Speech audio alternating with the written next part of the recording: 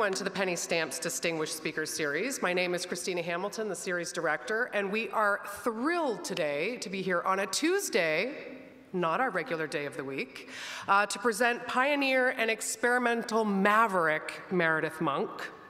Uh, I want to thank our partners whose support has made today possible. The University Musical Society, our nationally honored jewel, now in its 138th season, uh, and our series sponsors, Arts Engine and Michigan Radio, WUOM 91.7 FM. A special welcome to UMS patrons who are in the house joining us today. Uh, please do join us for more Penny Stamps events. We are usually here on Thursdays. We have a new calendar that's out in the lobby, so take one on your way out uh, and plan to be here Thursdays at 5:10 p.m. now through April. The event here today harkens to a continuation of the University Musical Society's Renegade series. This is a series of performances and special events that celebrate innovation and experimentation in the performing arts. We've had the great fortune to partner with UMS on hosting many of their Renegade programs, uh, beginning with Robert Wilson and Philip Glass back in 2012, and we're honored to continue to do so today. Uh, and I'm sure we have many ticket holders in the audience here today, but for those of you who are not, you have an opportunity to see Meredith Monk uh, perform Friday at 8 p.m. at the Power Center. Meredith Monk and Vocal Ensemble present On Behalf of Nature. This is her newest music theater work, which offers a poetic meditation on our intimate connection to the natural world. Uh, and I'm sure many of you have seen her perform before and wouldn't miss it. And anyone who has not will hear her speak today and hurry up and go out and get your ticket because there's not many left. But you can get them at ums.org online online, or you can get them at the Michigan League box office, or take your chances and just go to the box office at the Power Center. And students, remember, you get half price tickets and rush tickets day of show. Please do remember to turn off cell phones. We are going to have a Q&A today uh, after Meredith's presentation we are going to actually have our Q&A today here in the main theater. You will notice there's a microphone on a stand at the end of this aisle and one at the end of this aisle over here. So when the moment comes, if you have questions for Meredith, you can line up at either microphone and ask away. And now we have someone, another special guest here today for a proper introduction of Meredith. Uh, and this is someone who deserves an introduction of his own.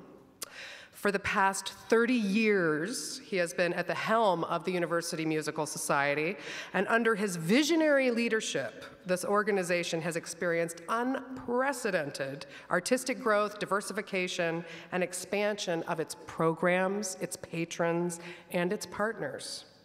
It's commissioned new works and it's received significant awards, including the National Medal of Arts. Yeah, this is Ken Fisher, our dear Ken Fisher, who traveled to Washington, D.C. last year to receive uh, this medal on behalf of the University Musical Society from President Obama. This is the first university presenter to ever receive this highest award. Uh, incidentally, this UMS was awarded this national medal together with our guest of honor today. Uh, if we could have the next image, you can see Meredith uh, and Ken over on the left-hand side of the photograph here. Yeah, they were both part of that same cohort. And I have to point out our own U of M dear George Shirley as well.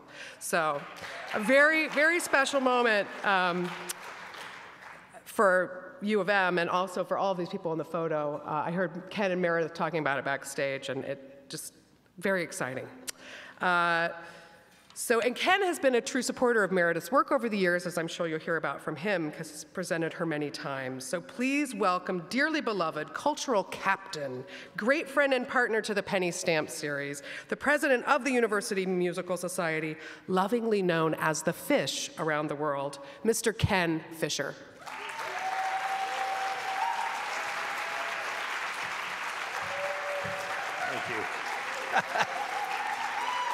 Thank you very much. And thank you, uh, Christina.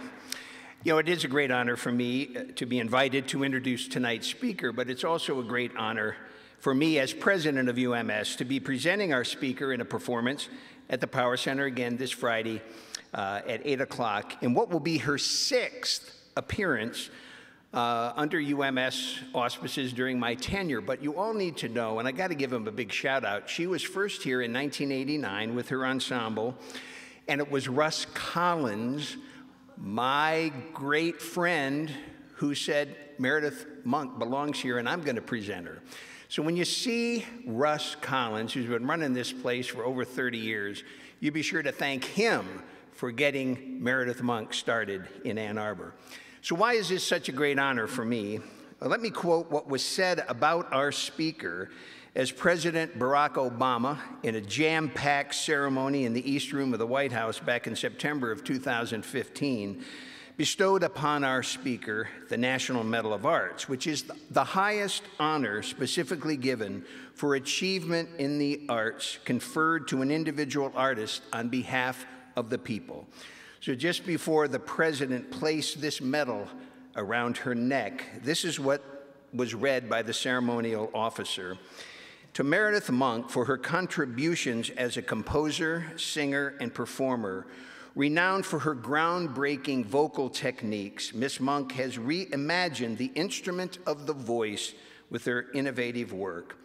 I was so proud to be in the audience to witness this great artist and my good friend receive this very special recognition. Meredith Monk creates works that thrive at the intersection of music and movement, image and object, light and sound, discovering and weaving together new modes of perception.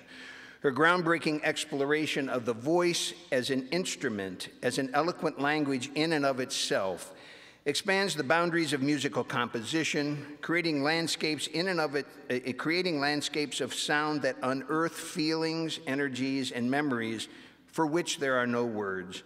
Her pioneering work in what is now called extended vocal technique and interdisciplinary performance, developed during a career that spans over 50 years, has led her to be called a magician of the voice and one of America's coolest composers. She navigates seamlessly between music and dance, composition and choreography, opera, film, and installations like no other artist. This Sarah Lawrence alumna received numerous honors uh, that you can find at going to her website, but I want to highlight several here. The MacArthur Genius Fellowship, the Yoko Ono Lennon Courage Award for the Arts, and her being named the 2015 Composer of the Year by Musical America, which is the Bible of the classical music industry. Here's what Anne Midgette of the Washington Post had to say about our speaker. She is at once fearless, unique, uncompromising, and yet builds human values into work that is never polemical and has communicated across genre boundaries long before crossover was even a term. And Alex Ross of The New Yorker wrote this about our speaker in the late 1990s. If Monk is seeking, seeking a place in the classical firmament, firmament, classical music has much to learn from her. She may loom, loom even larger as the new century unfolds, and later generations will envy those who got to see her work live. Well, my friends, you have a chance to see her live not only tonight, but again this Friday, January 20, at the Power Center, where she'll perform her full length evening work on behalf of nature. The LA Times Mark Swed called it a rapturous new work, some of the finest music Monk has written. And the Washington Post Charles Downey wrote If nature were to rise up and speak in defense of itself, its voice might sound like a Meredith Monk theater piece. How timely is this work? Please join me in welcoming back to Ann Arbor one of NPR's 50 great voices and National Medal of Arts awardee, Meredith Monk.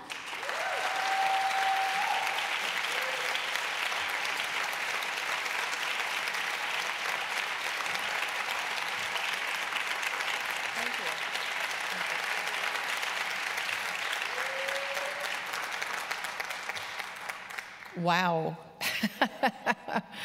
I'm so glad to be back in this beautiful theater. I remember it so well.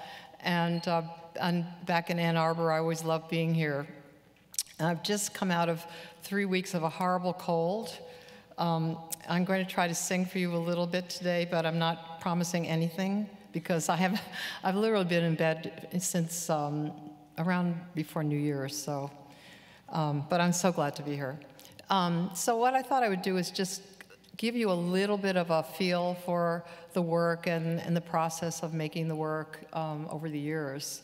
So my background is that my mother was a singer on radio. She sang the Muriel cigar commercial, Schaefer beer, Bluebonnet margarine. Um, a lot of these a lot of these products don't exist anymore, but um, uh, she sang radio jingles, and I would be dragged around with her to one radio station, ABC or NBC, um, during my childhood. Her father was a bass baritone from Russia who had come over in the late 19th century he had sung in concert in New York and opened a music conservatory up in Harlem. And then um, her mother, who I never met because she died when I was a baby, was a concert pianist. And they uh, recorded together on the Thomas Edison cylinders. And I've been trying to locate those, and so far I haven't been successful, but it's a, a very interesting search. So I think they met by her being his accompanist, and then they, they ended up marrying. And then his father apparently was a cantor in Russia. So long line of singers and musicians on that side of the family. On the other side of my family were came from Poland, and they were woodworking people. So the smell of lumber was also part of my childhood. So because of having this a wonderful musical family, I did have music through my whole childhood as a very natural language for me. It was as natural as breathing. And I sang before I talked and read music at a young age. Um, and my earliest training was in a technique called, uh, or a school of thought called Dalcroze Eurythmics, which was created by a Swiss composer in the late 19th century um, in order to teach rhythm through the body because he noticed that some of his students could not really find very complex rhythms. And, um, and so he devised these physical exercises so, so, that you could learn music through walking, through skipping. He also, uh, you learned solfege, which is the do, re, mi, fa, sol, la, ti, do system. And you moved in space a lot. But you, when you learned that scale, you brought your arms up. So there was this kind of sense of sound and space. And then there was a lot of improvisation. So I loved it. I was, an, I was a very uncoordinated child because I have an eye challenge, which is called strabismus, where the two eyes don't see together and make a, a fused image. So I think my left-right coordination was not so great, but somehow music was something so much part of me that going into that way of thinking about things was very, very natural. And so I learned my movement through the music, whereas the other children were learning their uh, I, I, actually learned my body through the music. They were learning music through their bodies. So, um, and then I think something about that training really stayed with me for my whole life, even though I didn't realize what an influence it had been, which is that all perceptions and all art, uh, art perceptual kinds of mechanisms come from one place and they can be woven together. So it's a really synesthetic kind of idea of art. Um, I went to Sarah Lawrence and um, they allowed me to make a performing arts program for myself, a combined performing arts. So I was in the voice and the dance and the theater departments. Came to New York um, in, a, in, a, wonderful time when um, I think that artists from different disciplines were trying to push past their discipline to find something new. And when I was still at Sarah Lawrence, I was making pieces where I was trying to combine singing and movement, visual images and objects. I was glimpsing the possibility of doing a multi-perceptual kind of way of thinking about performance.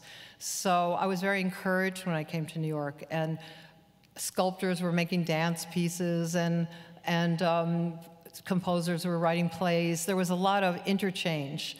Um, so my first pieces were very simple solo pieces that were mostly gestural, um, uh, some imagery, a little bit of voice work, and I usually perform them in galleries or non-theatrical spaces. And um, one thing that was wonderful about also that period was that there was a kind of anything is possible kind of mentality. And I, I try to maintain that to this day. And I think it's something that we all need right now in this world, that there's always a way to find something, and anything can be found if you have imagination. So um, I started weaving together these different elements into one piece. And I started realizing that that was something that was very personally necessary for me. It was very urgent as a human being because I had these different interests. And I think it was a way of, of coming together as a kind of identity of my soul. But at the same time, I realized that it was something that had to do with the society as well, in that the Western European tradition was one of the only traditions that separated these elements. So singers sing, dancers dance, actors act. Um, and if you think about other cultures like African culture or Asian cultures or accounts of early performance traditions in ancient times, um, they were woven together and there could be one person that, that within one body could have these different modes of expression and they were honored for that rather than here in the Western European tradition actually called a dilettante or, you know, not really honored for putting these things together. So I felt that it was also a, way, a kind of healing modality of the fragmentation of our society by weaving together these elements and making a very whole form. We were affirming not only the richness of the performers, but also the richness of the audience. You just get a little.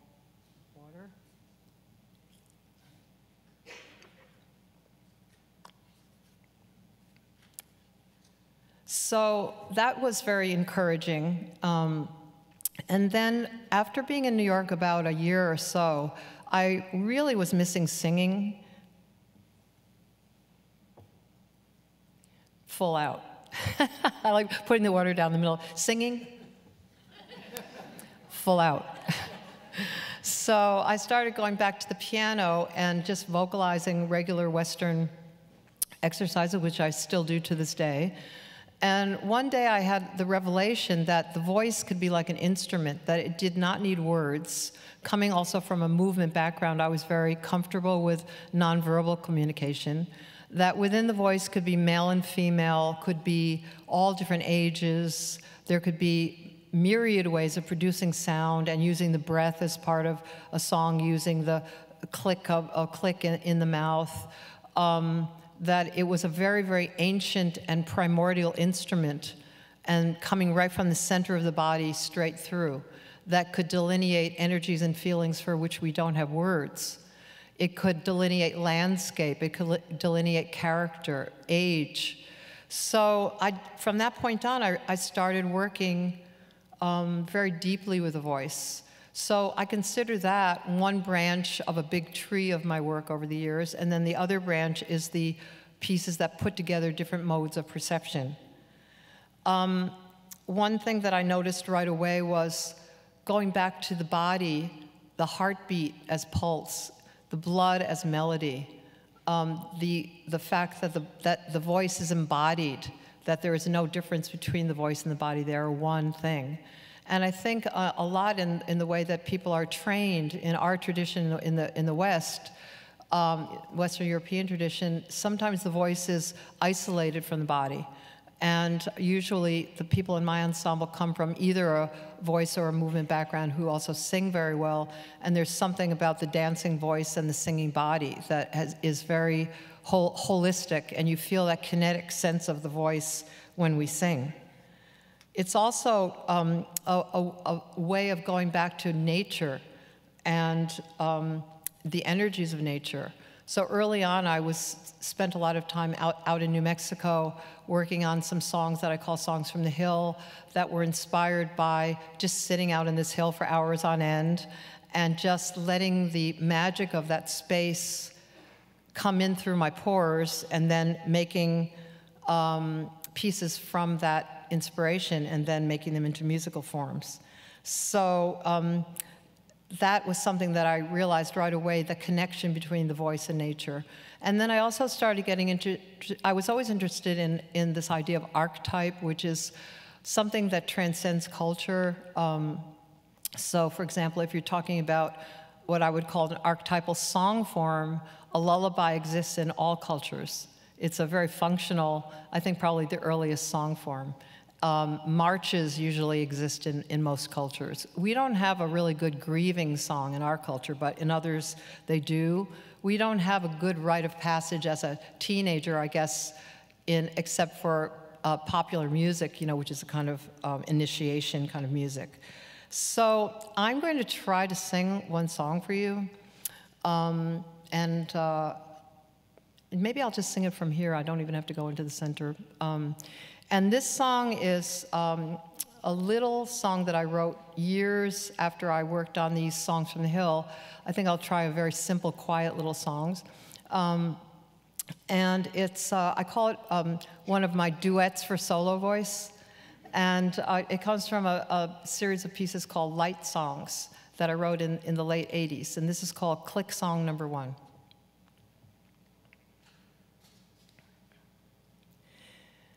Mm.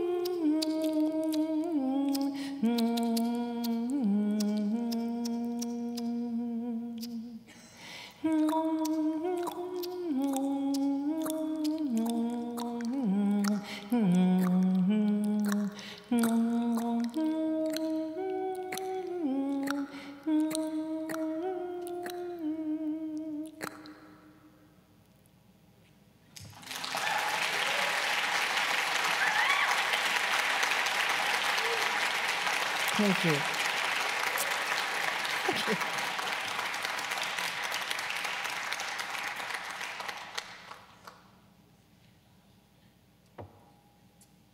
So now, uh, I know one of the questions that I was asked to talk about, and for you students that are working on things, I thought maybe this would be helpful for you.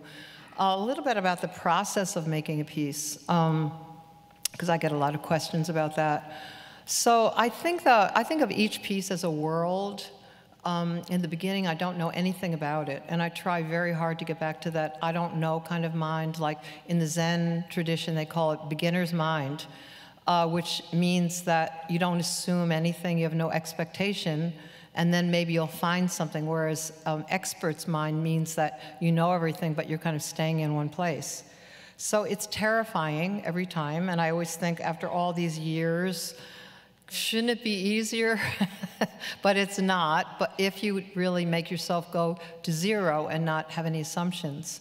So this, this idea of a, a, a making a, a, world, or, or each piece is a world, that in some ways exists already, what you're trying to do is find the principles of, those, of that world. So for example, I might have a piece of material that I love.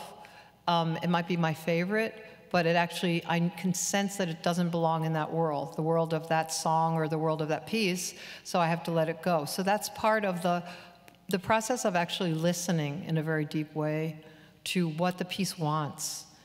And then I think for me, it's also a matter of finding the balance of elements. And sometimes when I start a piece, I actually don't know what the form is going to be. If it's going to be like a music piece, just a purely a music piece, will it be a musical theater work that has a lot of other elements? Uh, will it be an installation? You know, and then I also love to work between the cracks of the art forms and find a new hybrid. Like, um, for example, a piece called Turtle Dreams Cabaret is kind of between a theater piece and a concert, and then it really turned into a kind of surreal cabaret form. So between the cracks of the art forms, I seem to find some new ways of doing things. Um, so what I usually say to myself when I'm really terrified, when I'm starting from zero, is be playful, Meredith. Playfulness is one thing. And another thing is take it step by step. So when I find one little clue, then I know that I may be on the right track. And that's very exciting because this, this idea of discovery is something that's kept me going throughout my whole life. And this thing of asking questions, I think, is something that artists do. And in a way, what they present is questions, not necessarily answers, but questions for people to go home and take with them and see how that, that is going to be integrated within their life. Because I believe that art needs to be useful in one way or another. That's what I, I want my art to be. So, how do I make work that makes the imagination flow, that might make people look at things in a new way after they leave the theater, or listen to things in a new way, or figure out how, how their life might change a little bit. So, that's, that's what I've been trying to do.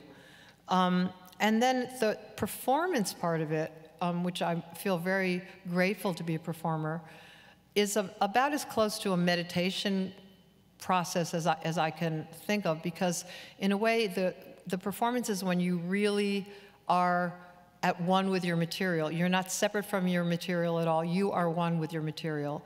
You have the sense of pinpoint focus and at the same time total openness to what's coming to you in the moment. So you have fluidity and focus simultaneously.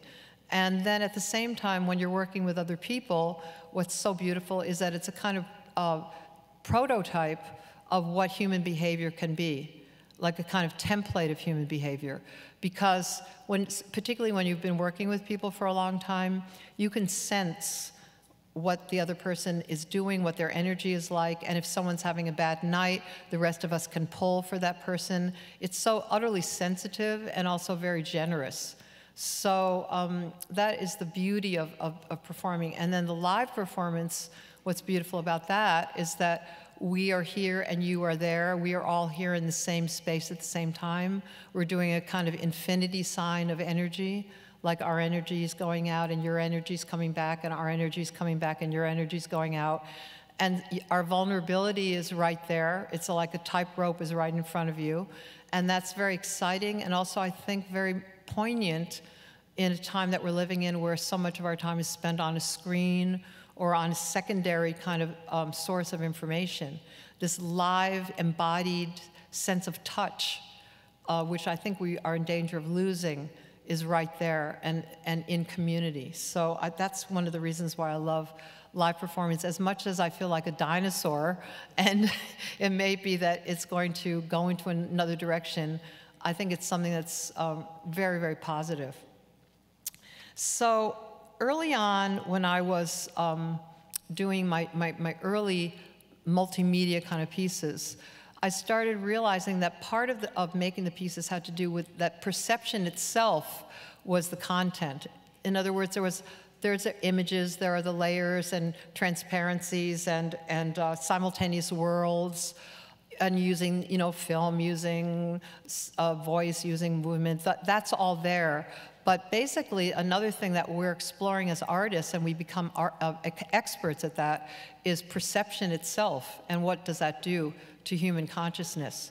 So um, one of my big breakthrough pieces uh, early on, um, when I think I was about 23, yeah, about 23 years old, um, was called 16 millimeter earrings.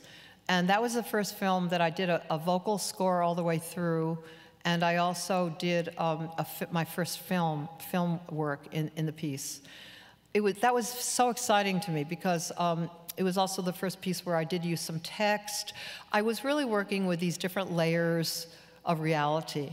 And I was even working with, for example, singing live, and then my voice came out on tape of that same thing that I had sung, but it started getting distorted. So you started also getting the difference between the live performer and, and media. Um, so I thought of it as a, as a poetry of the senses and uh, there was a kind of a cumulative soundtrack, and there were um, four films that came in, in, different places in the piece, and I used the stage very much like a painter did, so it wasn't just on one screen. You'll see this little clip that will show you of it, of my face being projected on a big dome over my head, so it looked like I had a giant face over a little teeny body. So, you know, I was working with scale, very surreal kind of piece. Um, so that was a very, very beautiful um, breakthrough for me, and, and, it really changed my life. So I'd like to just show you just a, a teeny little clip from that. No. You got it.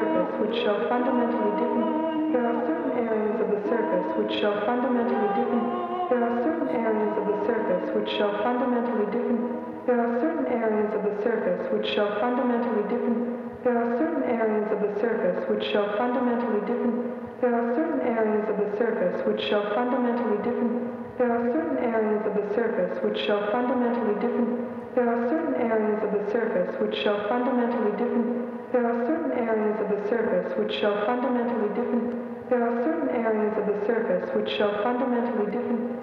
There are certain areas of the surface which show fundamentally different. There are certain areas of the surface which show fundamentally different. There are certain areas of the surface which show fundamentally different. There are certain areas of the surface which show fundamentally different. There are certain areas of the surface which show fundamentally different.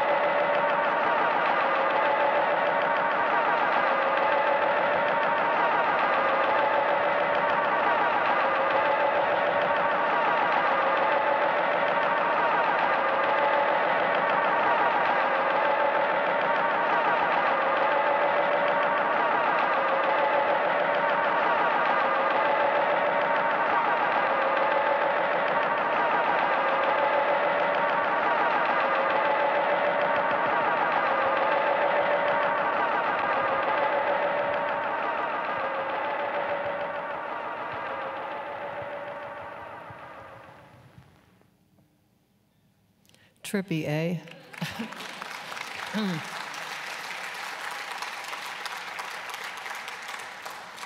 I was very much working like a, a, painter in a piece like that, very visual. And why, what, I, what I meant by poetry of the senses is, for example, I would take one image like a fire, and you can see those little, those little crepe paper flames, and then my hair very red. And at the end of the whole piece, there was a huge screen where I had made a little doll, like almost like a little effigy, in a room that looked like the room that was on the stage, and it, the whole thing burned. And then the, and then the, the uh, screen turned into flames, and I came up out of this trunk. It was kind of like a phoenix image. So I was thinking of, you know, in a way, visual rhymes, um, thinking much more um, like a painter would than a, a theater person. Um, so that was a very, very important piece for me. And then after that, I started getting bored with um, playing in theatrical kind of situation, you know, very frontal uh, oriented theaters or you know the audience in the front relationship. And i started working outside. Um, i started doing what is now called site specific pieces.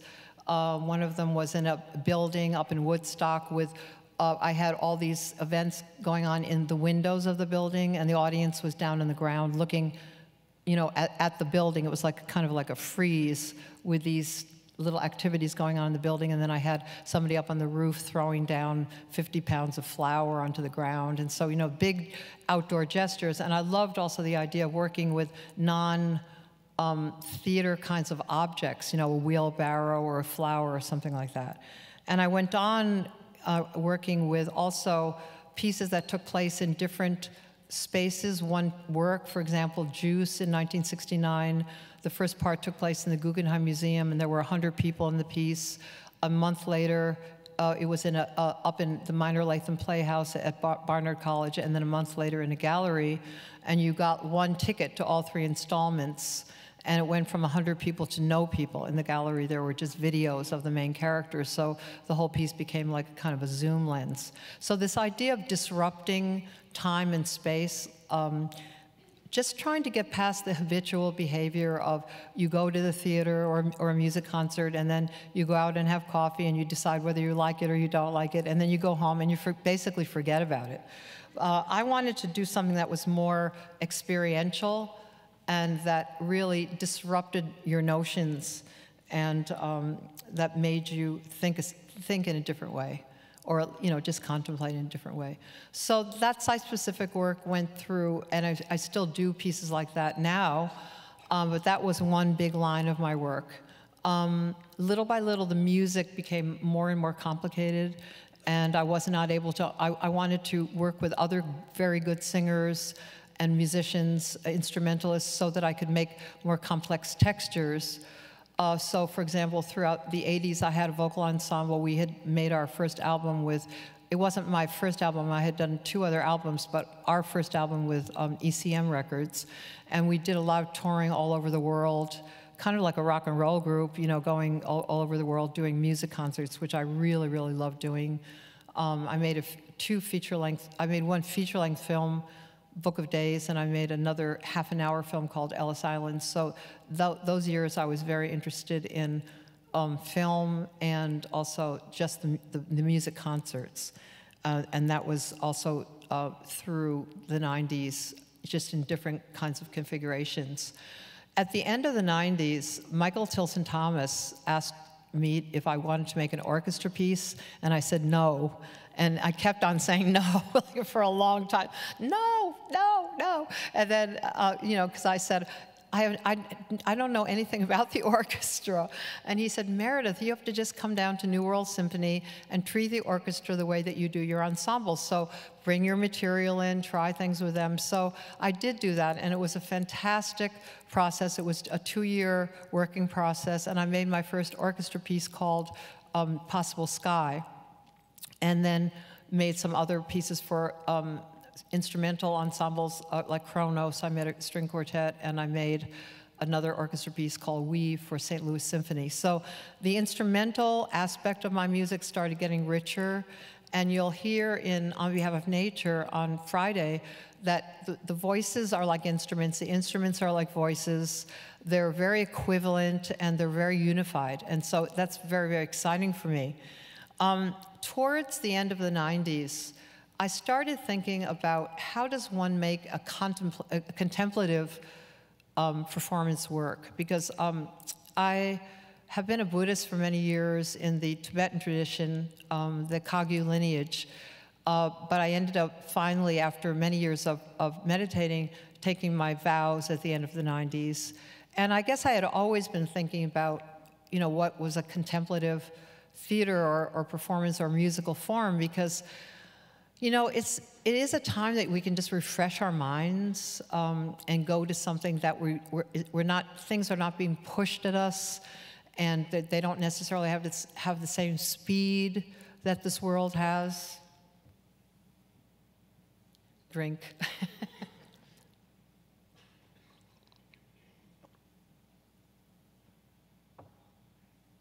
maybe we could let go of our blah, blah, blah that we have in our minds for an hour and a half or something like that. So it was something I'd been working on for a long time, that you would come into sacred space. So, but in the early 2000s, I became even more aware of how would you spend your life, because, you know, the, the rest of my life, how would I spend the rest of my life making pieces that you can't make pieces about? Making pieces about something you can't make pieces about. And the contemplation of those things would be part of the process of making the piece. So the first one was called Mercy. So how do you make a, piece about mercy? I mean, forget it, you know. So I mean, but just thinking about that, thinking about help and harm, um, making that the source of the work, and I, I, collaborated with the wonderful visual artist Ann Hamilton on that piece. Um, then I made the next one um, was called impermanence, which again is a kind of oxymoron. How do you make a form about impermanence? But, and how do you make a, a piece that really conveys the fragility but the strength of our existence? Um, I had lost my partner, and that was suddenly, and um, so my world turned upside down. And then about a month after that, I got an email from um, uh, a, an organization in England called Rosetta Life. And what they do is they go into hospices all over England, and artists come in. And for example, if the person who's working through their terminal illness wants to make a Broadway show about that process, then they bring in a choreographer, they bring in a, someone who's going to write the libretto, they bring in a composer and help that person make their, that piece about their process of dying or their pain or whatever it is they're going through. And I met these amazing people there who had, you know, a, a person who came from a working class background who had never written anything in his life, and he was writing these amazing poems about his process of having a terminal illness. So they, they asked me, you know, could I, well, they first asked if I could write music for a play they were going to do with the stories of these people. And I said, you know, I'd rather, if you don't mind, make a whole piece that includes all the elements. And um, all I've been thinking about is impermanence. And so I started working on a piece called Impermanence, and I met these wonderful, wonderful people in England. We, we also laughed. There was a lot of laughter, a lot of exchange about pain, uh, pain management. These amazing. We did one thing. Of what would your what would a fantasy of your death be like? You know, one of them was, I'm going to be in a rocket and I'm just going to, and when I die, I'm just going to be in this rocket and it's going to shoot up into the universe. And then little molecules of me will be in the, in the whole universe. Like people had their amazing um, fantasies or imagination about of that process. So my other thought when I was working on this piece is how do I do something that also is worthy of these people? Um, you know, with my ensemble. So we made a piece that had two acts and one thing that I definitely wanted to include was something that also had humor in it. Um, because I think that humor is something that just cuts through everything. And I've always loved humor in my work. So there's even humor in On Behalf of Nature. Um, and so, uh, Ellen Fisher, who is going to be performing on, on Friday, brought in something from the New York Times about somebody who uh, I think was in Oregon where they had passed a law about uh, that you could have assistant uh, die, de death process. She said, you know, I want to die and I want people to dance a polka after I die. And so Ellen said, why don't you write a polka? And, and I didn't write a polka, but I did write uh, a piece that was pretty peppy. And I was also inspired by the Mexican Day of the Dead, how there's so much humor where the skeletons can get married and the skeletons can be playing in a band. And, you know, there was that sort of sense that death is part of life. And I, again, I feel like we've lost that a little bit in our world, that it's part of this amazing process, and we all are part of it. We're part of this big ocean. We're just waves in this big ocean of humanity. So I want to show you a little sequence from that called Skeleton Lines.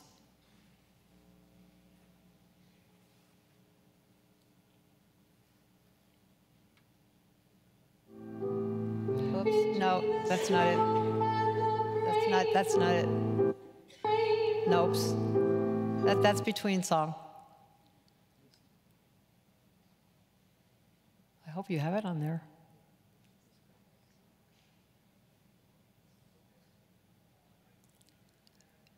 I'm sorry? That's between song.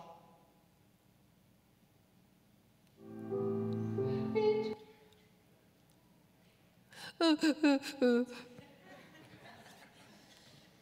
we do we, we do we not have it? There we go.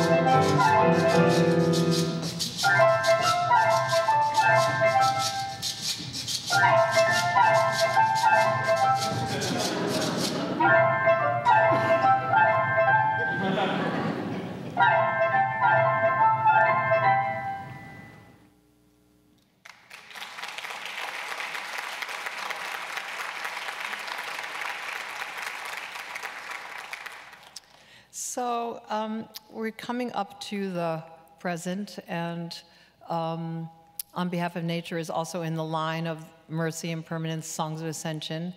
Um, and I think that my big inspiration for on behalf of nature was just my despair at what was going on in the world, and now you know it's jacked up a little bit more. Um, but uh, I was very, very inspired by a beautiful article by uh, Gary Snyder, and I think I include a little bit of that in the program that you'll see on Friday, um, where he talks about it's called Writers and the War Against Nature.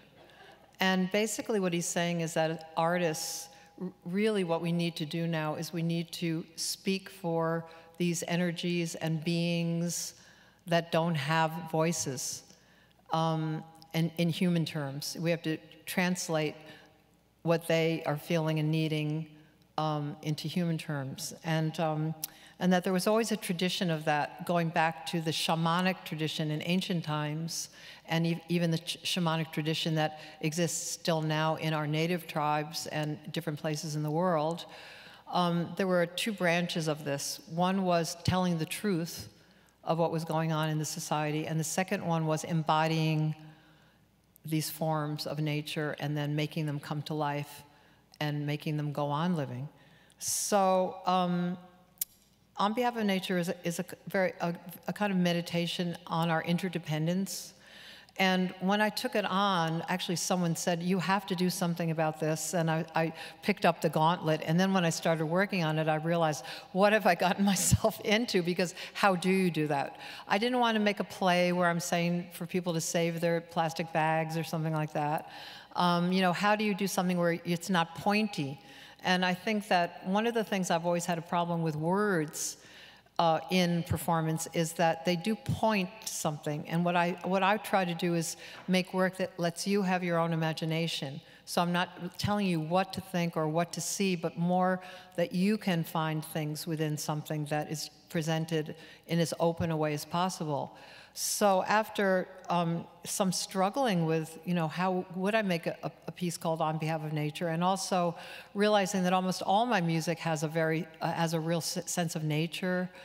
Um, the music was coming along really, really well. It was just flowing.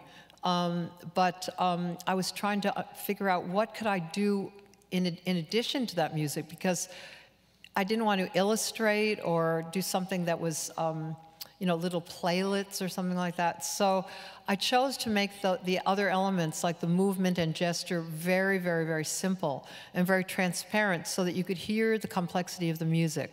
Because usually, traditionally, when you have anything that's in front of music, the music becomes the, the accompaniment. And what I, because the music is very complex, what I was trying for is how do you make it so that people can really hear the complexity and at the same time they're seeing something, but that something is very, very transparent. So it's almost like you're seeing through it and being able to also hear everything as equal rather than an accompaniment and, and something that you is in the foreground. And because we're a very visual culture, that's what we usually do. So I, I had to give myself courage um, to have these other elements be that simple. And, um, you know, so that, that's pretty much what on behalf of nature, in a way, is a kind of affirmation of what we're in danger of losing. It, it's very much like an elegy and an affirmation of the processes of nature and the inner processes of nature and the energies of nature. I think that art um, is, a is, is pretty addicted to distraction now. And, um, you know, there's a kind of seeking of diversion. It is really hard to be quiet. It's really hard to take time alone because the culture is just grabbing at you, and mostly that's to buy something. Um, but, but basically, that, that impulse of filling space with sound, with uh, you know, screens, with clothes, with you know, whatever the, these things, is a very, very powerful addiction. So. Um, I think that what I've been trying to do, and certainly on behalf of nature has that quality, is to literally dig my heels in and say, you know, I am going to try to make an antidote to this maybe people will hate it, and have to run out screaming or something. But, uh, but basically, the more, the faster it goes, the slower I'm going. And, um, and I do believe that art is a kind of antidote um, to the darkness. I think that it is the light that we all can share, no matter, and it doesn't necessarily just have to be art, it has to be something that you love. You know, any kind of, of activity that you love, and just love itself is a way of getting through this darkness. And, and um, because um, violence just begets violence, it, it just doesn't do any good. So, what I think that art can do is that it can bypass discursive thinking, you know, the narrator in your mind that's telling you about your experience, which is one step away from your experience, and it can actually give you a direct experience. If you can just let go and just be there, present. Um, so um, it, it allows us to see things in a new way and refresh ourselves. And I think it's also a way of remembering the big picture. It allows us to remember what we're part of and not that we're not the center of everything. Um, and so I, I want to just say that I just have great gratitude that I've been allowed to be part of that. Um, sometimes I pinch myself to think that music is, the magic of music is part of my everyday life and breathing, and I've been allowed to follow my dream over the years. Even though it's been a struggle, it's been totally worth it. Um, and I wanted to read to you a quote from Gary Snyder, the, the great poet, who I told you I was, I was inspired by. If you don't know who he is, they do consider him part of the beat poetry generation. I, I, he probably wouldn't like that too much. He's still very much alive. Um, but he was part of that group in San Francisco. He uh, is a Zen practitioner and a very, very early ecological activist. Um, so this is what he says, which I think is so beautiful if I can see it. um, Art takes nothing from the world. It is a gift and an exchange. It leaves the world nourished. And I think that that's a very, very inspiring um, statement. I'd like to end by just playing you a little Jew's harp piece, and then we can do our question and answer. Okay?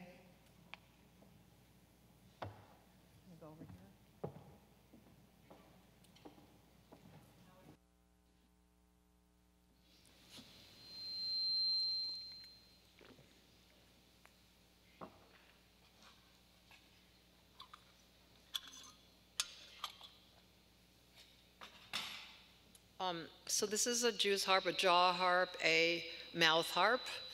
A, in French, it's a guimbarde. In um, Italian, it's a scacciapensieri. Um, just a little instrument. Um, but when I first started working with my voice, my sister had one, and she taught me how to play it. And I started finding all kinds of resonances in my voice, in my in my mouth, in my voice, and in my breathing. So it, it's a wonderful singer's instrument. Um, my wonderful axe that I had for years and years broke, the dinger broke off it.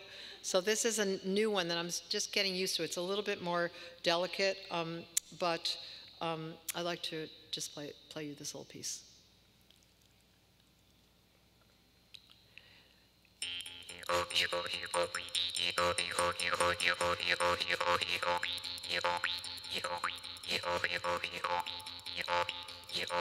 Pew, pew,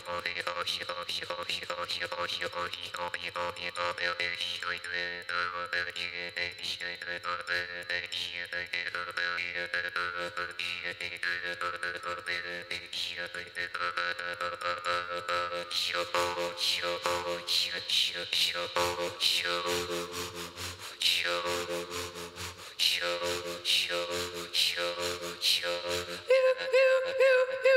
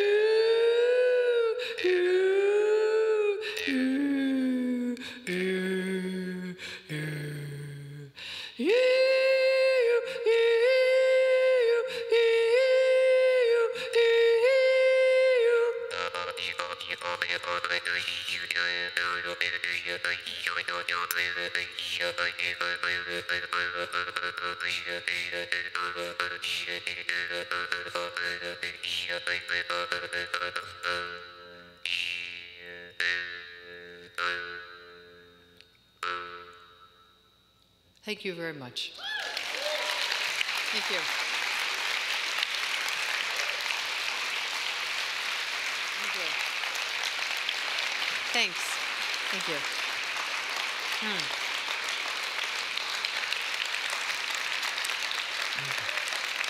So, thank you. Thank you. Mm. Thank you. Um, I just wanted to say one other thing about being here in Ann Arbor, which I didn't mention, but I think I'm allowed to do it, which is that um, in the dance department, um, for their uh, concert, we are reviving um, three sections of a piece called Quarry, which was also one of my major breakthrough pieces that I did in the 1970s. It's a, a, basically a piece about World War II, but it seemed really important to bring it back now because of what's going on in our world now. Um, so we have these amazing performers from the school here that are going to do it, and Paul Langland, who was in the original cast, is here mounting it on them. Um, does, is anyone in the audience tell me what date it is? Uh, first, February 2nd uh, through the 5th. So please come and see it. Um, they're, they're just amazing, and it's a very, very powerful section of this piece. Uh, it's the dictator, da da da da, and the dictator's rally. Da, da, da, da, da. So I think uh, very apt for right now, so I hope that you'll come. Yeah. Uh. So, Christine, am I doing question and answer now? I think it's here. If folks want to line up, there's a microphone right here, and there's one right there. Anyone with questions for Meredith? House, house lights up? Yeah. And uh, Scott, if you can bring the house lights up. Questions?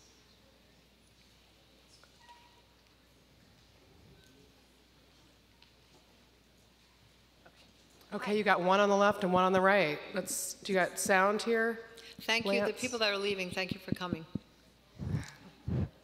Okay. Um,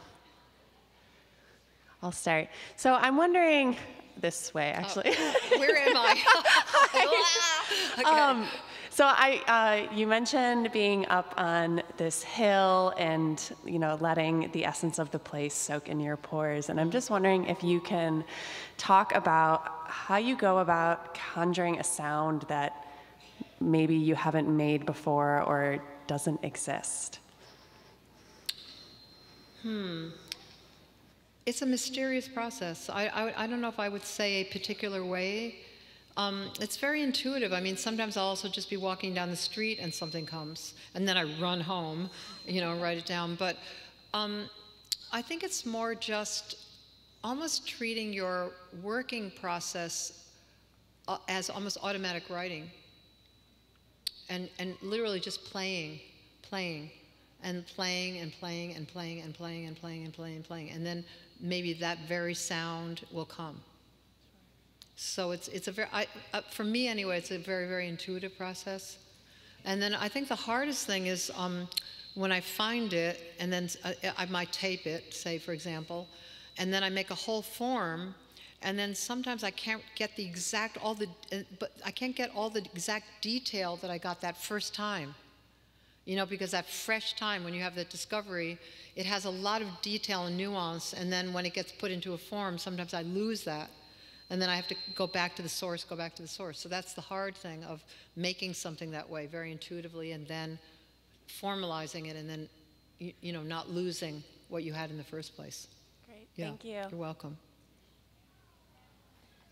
Cool. This side. Um, I really liked in Skeleton Lines how the dancers started to play music and kind of that cross disciplinary yes. connection. Yes. I'm interested in how you choose the dancers and the musicians kind of per project. Are you working with some of the same musicians and the same dancers or the all the people that you'll see on Friday, I've been working with at least 15 years. every single person. And Ellen, the, uh, who was teaching dance and has the very short hair, I've been working with her for 35 years. Katie, I've been working with for 25 years. I'm a very loyal, I'm a Scorpio, so loyalty is part of it. Um, but also, there is something incredible about working with people for a long time and then trying to find, I love working with this group and then trying to find what is something else we have not uh, explored at all. And then some pieces is more, some pieces do have more of this interchange of keyboard and, or, uh, you know, or instruments and, and um, voice dancers uh, because I play keyboard. You know, uh, Impermanence, I was trying to get a much more, um, what would I say, um, uh, the flow between the musicians and, and, the, and the performers so that we did sit at the piano sometimes and we did perform sometimes and, and the instrumentalists came out and did one piece with us. In this, you'll see the instrumentalists come and they do movement with us.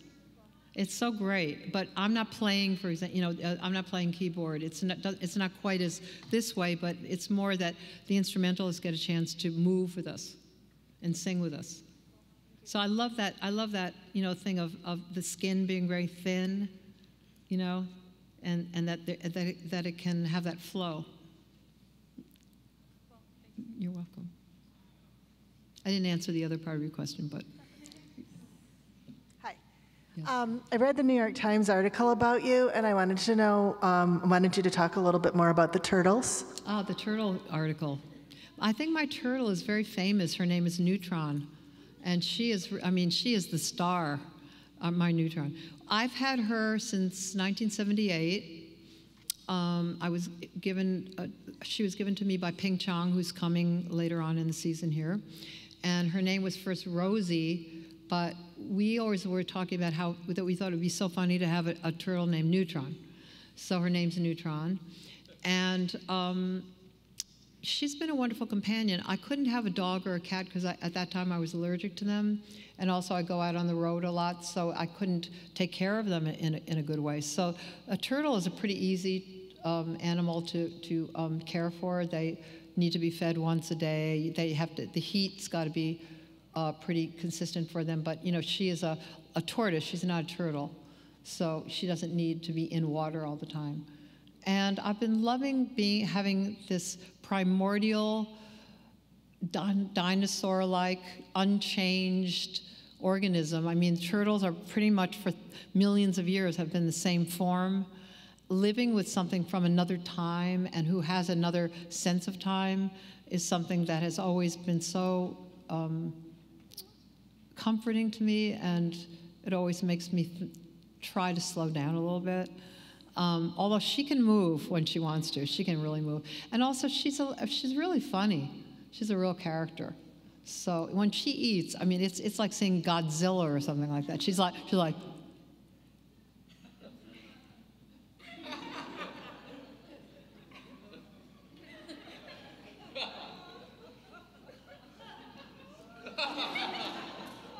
I mean, it's just amazing. It's, it's amazing. So, is that what you wanted to know? I was like interested in knowing more about how they influence your composing.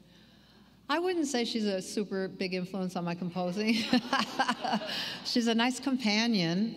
Um, and early when I had her, when I first got her, though, I was having all these really strange dreams about her. About I had one dream that her whole body, her shell was trans, she was completely transparent. So I didn't, I, I don't even know if she had an inner body, but this transparent turtle. And then I just was having all these dreams. And then I was thinking, I wonder whether she has dreams. And so then I ended up calling up piece Turtle Dreams. And part of, part of that piece has a film in it where I made a miniature city, and Neutron was actually too photogenic, so I didn't use her.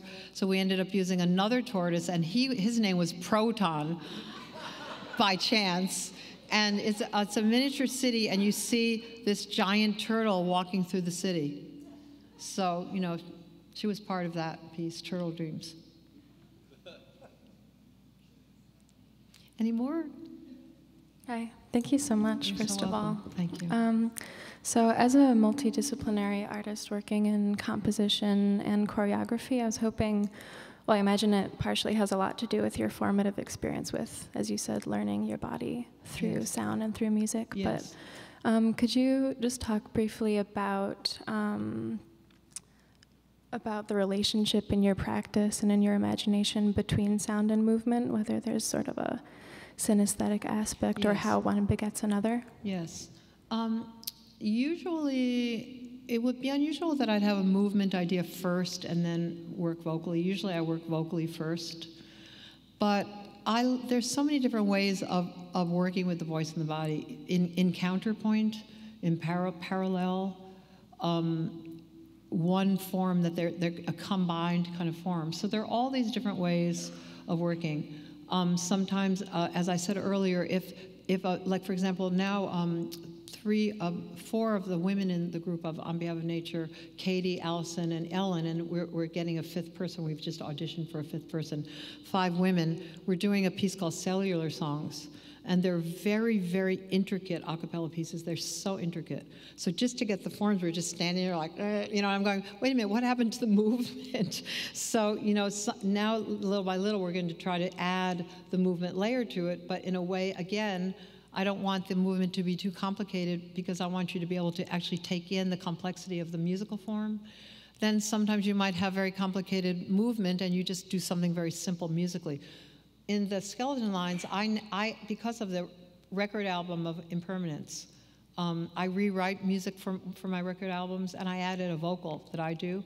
And now when we do that piece again, I actually sing at the same time as we're doing that. So these things are, it, they're the, just these things to weave together in different ways. And I think that the possibilities are limitless. You're welcome. You spoke earlier about finding both the masculine and the feminine within your voice. Yes. And I was wondering if you could speak a little bit more about the role of gender in your work and if you take that into consideration and what relationship that has Yeah. for you in your work. your Um, I've always felt that we're, we're both, all of us are both male and female. That's something very, I've always felt that. Um, I, I- you know, some of the early pieces, I did a piece with Ping that we call Paris, where I wore a mustache. Um, this was in the early 70s, a skirt and big combat boots. He wore a kind of more flowing sort of shirt and long hair. And it was very inspired by the Atget photographs of working class people in Paris. And it, was uh, in the early 20th century, but also very inspired by um, silent comedy. And something that I found, and we were just trying to do some, first I was going to have a bear outfit on. Uh, we are going to do a duet with me with a bear outfit. And then that went. And then I was like, how about a mustache? So I put on the mustache, and I found myself in, in comedy terms, in physical comedy terms, totally liberated by that. I was so liberated. It was very playful use of gender. You know, we were mixing our genders, you know, within each of us. Um, I, I really love that way of, of working with gender, being very playful about it and, and no limitations and no doctrinaire principles in any way. I'm loving what's going on now that people are really realizing that we all have everything within us, you know, in, in different balances, but everything is everything. And I think vocally, I always had characters um, that I thought of as male characters in the voice. Um, there's one called Old Lava Man, which is in uh, Volcano Songs. I mean, I've thought of my voice as being able to be womanly from a baby to a, you know a very old woman, and or, or to a very old man, uh, to a, you know a, a you know a, a male character all the way through. So I think that it's always been part of my work, but I've never tried to codify it in any way. Mm-hmm.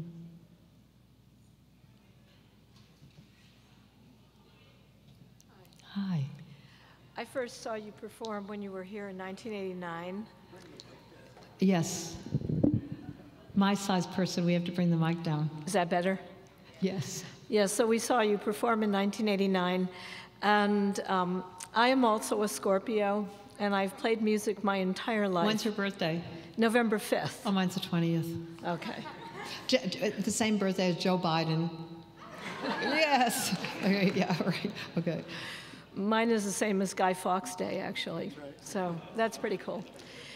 Well, the reason I'm speaking up right now is because the music that you make is very much like what I do, and it's my second vision is forming a band to play this music with other people. And I figure that anyone that comes to hear you may be interested in meeting It's an me. advertisement for an audition. It is. That's what it is. That's exactly You what go, it is. girl. And this takes guts on my part to You even go- you say it. go. You understand, though. So she wants anyone who's uh, interested in Yeah. working with her, find her. And I'll just tell you just two or three things. And what is your name? My name is Laurel Emrys. Laurel. And I play very well, and my main instrument are flutes, and I use my voice as an instrument, and I play the harp, and I play the treble viol. So, Cool. yes, and I'm a Well, Allison, um, who's in our group, plays, uh, you'll hear on Friday, keyboards, she's a great keyboard player, French horn, violin, sings, and forget it. Yes. You know, I also have played the piano since I was three. well, great. So, but I love doing this. This is it right here, and thank Good. you so much. You're so welcome. What you had to say was just remarkable. Thank you. Each sentence I could have fallen in love with. so thank you. You made my So day, thank I will you. stick around if anybody does want to say hello, and I mean it. Yay, a, li- a lineage, a lineage. Go ahead. Oh, this one. Yes. Um, I was just uh, wondering if you I know you. Hi. Guess what? He's playing with the dictator. One of the dictators. Um, I was just wondering if you could talk a little bit about uh, being both a composer and a performer, and an engaged composer, and and working alone versus working collaborating with other artists and your ensemble, and how, you know, Good what how that exists for you. Yeah, very good question. Um, certainly in my early work, there was no separation between me as a performer and me as a composer. I was my own instrument. Um, and there is something very organic about that. You know, I'm, I'm glad I'm both things, and it's torture for me to be in the audience when I'm not performing. It's actually, actually, strangely enough, I feel like I have more control when I'm up there than I do when I'm sitting there biting my nails during an orchestra piece or something like that. Um, but then at a certain point, as I said in the talk, I wanted to um, make my textures more complex. And so I was able, it was right around the time I made Quarry, and there were wonderful young singers. So I was like, wow, there are really good singer, actor, singer, actor, dancers around. And so I formed my ensemble. Um, how I, and then how I work with them and have over the years, and particularly people that I've worked with for a really long time, is I work alone first a lot. You know, so I'll either write things down or I'll um, I'm, do multi-track tapes where I'm trying, you know, to do the counterpoint and everything myself. Bring that into the rehearsal, and we kind of work it over. We've got we've got a shorthand. We kind of work it over. I might revoice it, or you'd sing this, or we do this, and we work on it like very physically. You know, uh, it's like music is a very physical, hands-on, or sculpting. It's more like sculpting. Then I go back and work alone again. Like right now with Cellular, we had uh, we had like a, a series of rehearsals. Now I'm listening to the tapes of those rehearsals, rethinking, rethinking the forms. You know, working again alone. Then I'll go back in. So um, that's the next circle. So here's the little circle of one person working and being a composer performer. Then the next circle is being a composer and working with a group of people that you've been working with for a long time. The next circle is orchestra or like Kronos, where I'm not performing and I have to make a whole score, which I really don't like doing, um, and hand it to them because they don't improvise at all. Or orchestra, you know, you've got like 90 people there and they get they get two rehearsals. So that has been very challenging to me. I work with Allison a lot because she's a wonderful, we call her score girl, um, because she can, you know, in, um, work with the computer and make a score that somehow has some resemblance to actually what I want it to be. But we work very, very closely hand in hand, or also orchestrating together. Um, and that has been, I don't know. Um, I mean, it's in some ways really exciting and satisfying. In some ways, I'm not sure to this day that it's the best thing for me. Because think how far away from my body that is. You know, it's, it's really, they're out there somewhere. What I have tried to do is with the, with the New World Symphony, I, I went down there for, as I said, two years and worked with these young people. And we would do, okay, now the string section's going to come. And I gave them all my material that I had written for strings. And then they, I said, can you try this? Can you do this? Can you hit the instrument? And then and they said, and, and we also can do this, this, this, and this. And so it was so fun. And then by the t- when the piece was done, they were so excited that they were part of the process. So I love that possibility of working with people that usually don't have a say. When I made my opera Atlas, I, we only had 11 instrumentalists, um, but I would say, you know, James would say, you know, the horn, I can use this mute and it, it can get that certain sound. And I was like, great. They will, these, they will never forget it. You know, the, these people that were usually in the pit, they never get to say anything. So, you know, that's also been very exciting. But a lot of times I can't do that you know, because I literally have two or three, three, three rehearsals with an orchestra. And I'm also very dependent on the conductor. And also, my music looks very simple on the page, but when you put it together, it's very complex. But each part might be simple. Oh, we can read this down, no problem. Okay, you know, and then and then try it. And then when it's put together, it has so much to do with also the energy and the momentum and then the conductor says, oh, we'll just take these little parts, the hard parts, and doesn't play it all the way through, and then does not get the form really. So it's been challenging. Yeah. Last one. Um, hi, first of all, um, thank you for coming here and sharing with us. You're welcome. Um, so I was just wondering, and it kind of actually relates a lot to the um, to the previous question and answers. Um, but I, I, was just wondering how um, improvisation uh, incorporates into your um, into your compositional practice and also into your um, performative practice, and also kind of what your preferences uh, in terms of like performers, um, you know, performers who who generally play composed music and don't really improvise versus like really great improvisers. Mm-hmm. So uh, if you could just talk about that. I'm gonna about just that. Go Sure.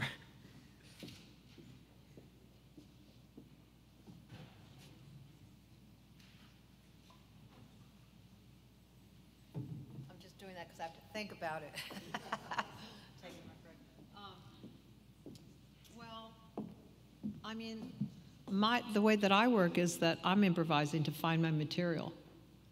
Um, so, you know, uh, and, and um, I'm, you know, really just as I said to the other woman that I was talking to, just I'm continuing just playing, playing, playing until I find something that I'm interested in, and then I de- start developing it. So that's um, very important. Um, I've never come into rehearsal and um, and and said we're going to have a free for all improvisation session, um, because usually the way that I hear improvisation, it always usually starts sounding the same to me. You know, we all get into these ha- improvisational habits and there's a kind of quality about improvised music, or some improvised music, that sometimes goes back to a more generalized kind of sound, which I'm not so interested in. Um, so with the ensemble, it's more that there are sections in, in the pieces that always have room for play, play, mostly rhythmic play. And they know the parameters very well. So, you know, there's always, we can always play um, within it. Some, some, some things are impossible to do that, like um, something like the Hocket, which is a duet. It is, it, you ha- it is so fast and so precise that it you, you, you just can't. There are sections where we can um, stop it at a certain point, but basically you couldn't get through that form without really having it in your bones memorized. Um, and as far as performers that, you know, in a way, I, I love both. I love people that can, can actually precisely, um, you know, because I am very meticulous, sing a melody or, you know, or, you know, really follow a score and can improvise. I mean, that would be my ideal person.